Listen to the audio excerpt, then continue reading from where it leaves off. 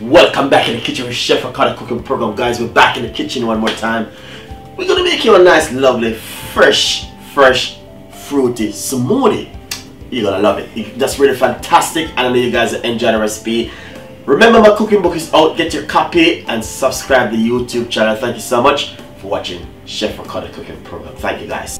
Lovely and nice. So we're back in the kitchen again, guys. Today we're gonna show you can make yourself a nice, lovely, fresh, fruity smoothie basically I have some pineapple. That's one piece of pineapple two pieces of pineapple and I got two slices of watermelon. I'm gonna put straight inside of it. Three pieces of melon straight inside straight inside of it. Then we're gonna put some red syrup roughly two tablespoons of red syrup just to give it a nice lovely lovely Caribbean look that's the beauty when you're doing fresh, fruity smoothie. And basically, I have some ice, which also I'm gonna put straight inside of it like this, guys. Few pieces of ice,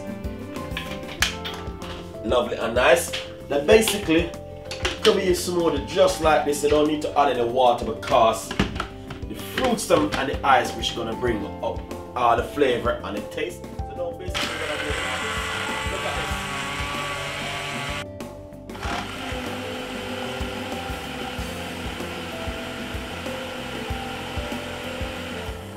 Lovely and nice. So basically, as you can see, the color of this, this all the syrup does change the whole entire color, guys. But look at that, beautiful.